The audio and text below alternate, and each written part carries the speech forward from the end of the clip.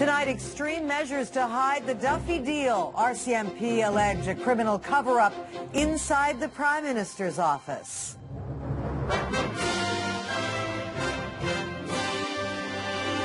The PMO's culture of concealment. This wasn't Nigel Wright acting alone. Just how far up the chain did it go? Is it plausible that the Prime Minister didn't know?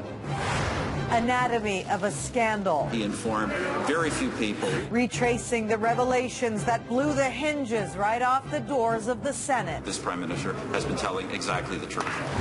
And years later, the good evening. We begin with bribery, breach of trust, and a campaign of deception planned by the Prime Minister's inner circle.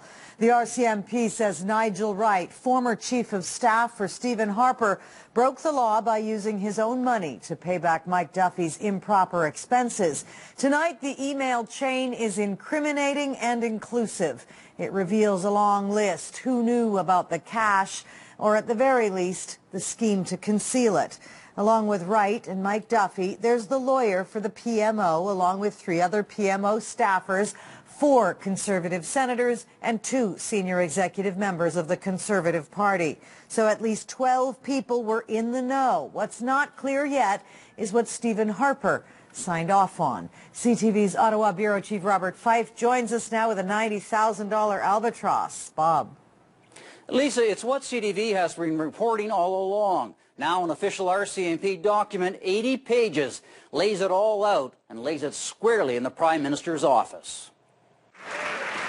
The RCMP affidavit contains mounds of evidence of potential criminal wrongdoing and a high-level cover-up run out of Stephen Harper's office. In those documents, what Nigel Wright does in fact say is that the Prime Minister knew that he had, quote, personally assisted Mike Duffy with repaying his expenses.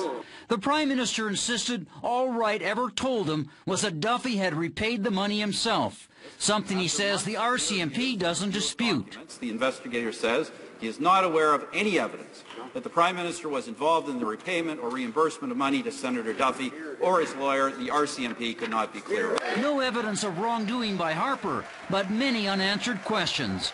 On February 22nd, hours before Duffy went on TV in a script approved by the PMO to say he'd repaid the money, Wright wrote, I do want to speak to the PM before everything is considered final. Less than an hour later, Wright followed up with another email. We are good to go from the PM. What did the Prime Minister approve during that hour? I was told that Mr. Duffy was going to repay the money himself. Still, the RCMP implicates at least 12 members of Harper's entourage in the secret $90,000 fake payback scam. Wright and Duffy, Perrin and Woodcock, Rogers, Novak, van Hemmen, Hamilton, Byrne, Gerstein, LeBreton, Tkachuk, Stewart Olsen. A hoax run out of Harper's office to fool Canadians. The RCMP says Duffy even took out a bank loan to give the appearance he was paying the money owed.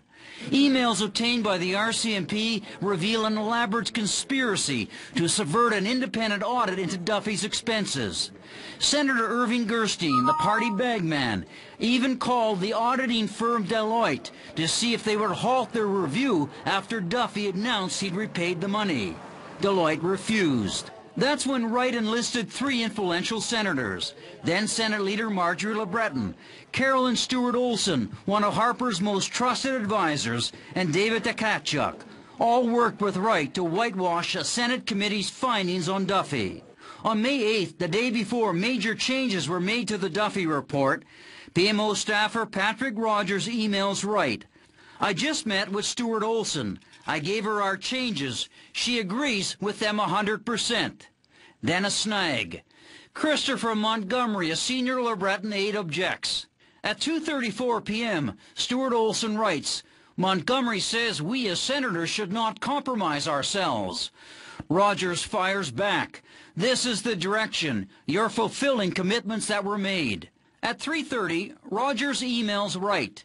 This is epic. Montgomery is the problem. Wright responds, should I come over? LeBreton is called to a meeting with Montgomery. At 342, another PMO staffer tells Wright, we are done. Patrick made it happen. The RCMP says Stewart Olsen, Tkachuk, and LeBreton misled police about their role. They talk what they talk. I'm only telling you what I know, right? So uh, my conscience is clear. I'm sorry if they don't believe I, I answered all their questions honestly. Wright is fighting back against the allegations of bribery and breach of trust, saying in a statement he remains confident his actions were lawful.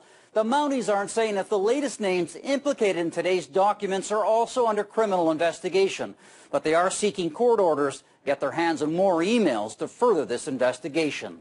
Lisa. Now, Bob, you say this is a hoax run out of Harper's office to fool Canadians. Can you expand? Tell us more about the PMO attempts to influence that Deloitte audit.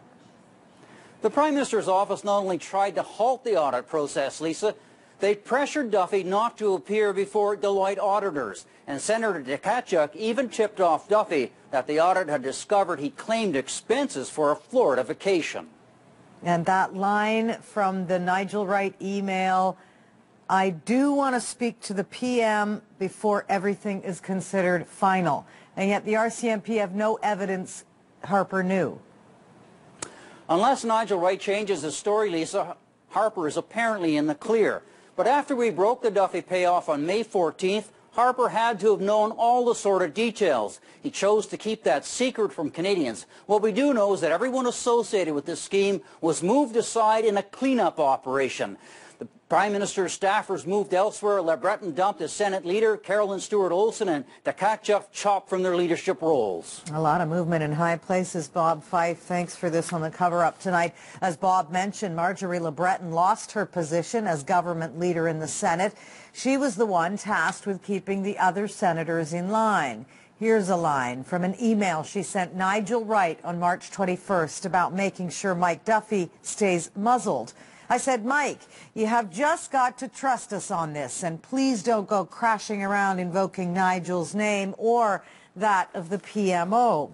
So how did it get to this? Bob's initial reports on the Duffy deal led to months of indignant denials, almost all of them contradicted in today's damaging documents.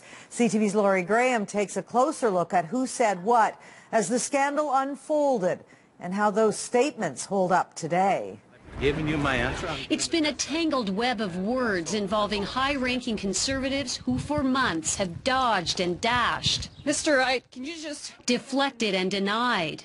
Well, I don't know. But according to RCMP Corporal Greg Horton, they all knew far more than they let on, starting first with the deal. Nigel Wright would actually cover the cost of the $90,000 and the government would go easy on Senator Duffy in its report. But the conservative senators who wrote that report denied they went easy on Duffy.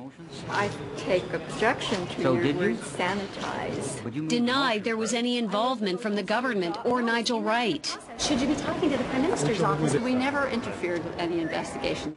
Even the Prime Minister dismissed the notion. Speaker, the Senate, of course, as we all know, is an independent body. Not so, says Horton, not by a long shot.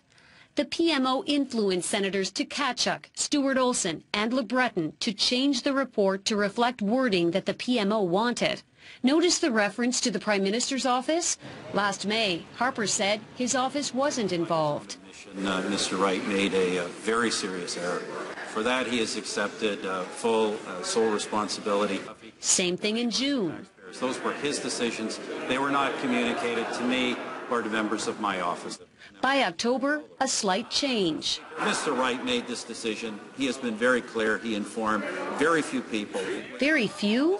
Not according to Horton. There was considerable communication within the PMO on the matter of the Senate investigation of Senator Duffy, as well as communication between PMO staff and senators relating to the matter.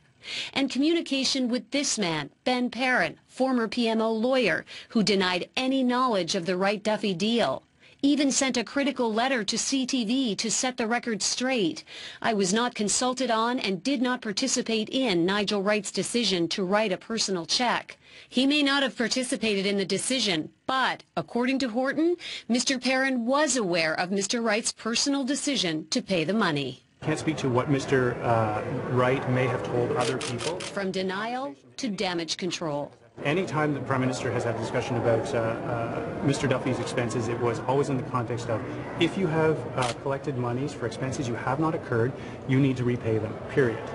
And what about those emails, the ones Harper's office denied having to CTV last August? Well, after trolling through PMO computer servers, RCMP turned up 19,000 relevant emails. Of those, RCMP say 2,600 are being used as evidence in the investigation. Lisa. Okay, Laurie Graham, thanks for this tonight from Ottawa. Some of the most incriminating email exchanges are in the RCMP document filed in court today. We've posted the entire 80 pages on our website, including details of RCMP interviews with the PMO staffers and conservative senators implicated in this cover-up. You can read all about it at ctvnews.ca.